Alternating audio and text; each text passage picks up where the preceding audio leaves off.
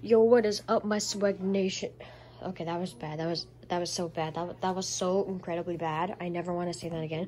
Makes me want to throw Scotsman out the window. I want to defenestrate my Scotsman now, but I'm not going to because I love my baby Scotsman. But anyway, I have some good news and bad news, people. And I have good news and bad news and good news and bad news and good news and bad news. All right, maybe not that much. Good news is I'm getting two packages in the mail. One will come Wednesday. The other will I don't know, sometime the 27th or the 28th. Uh, you will see videos on those and some unboxings. They're pretty cool packages. But, um, bad news. Christmas is coming around and we have and one of those electric trains that a lot of people have for Christmas. And it's usually set up in my room, which means, yeah, unfortunately. But I have more good news.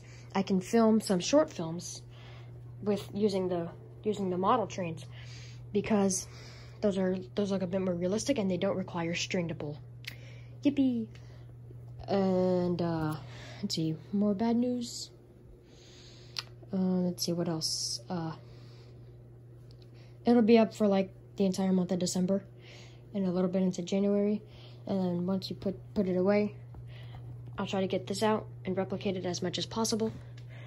But um yeah, that that, that I get. Uh,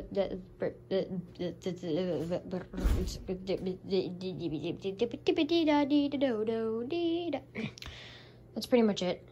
Uh.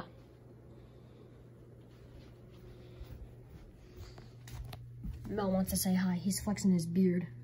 He's a Chad.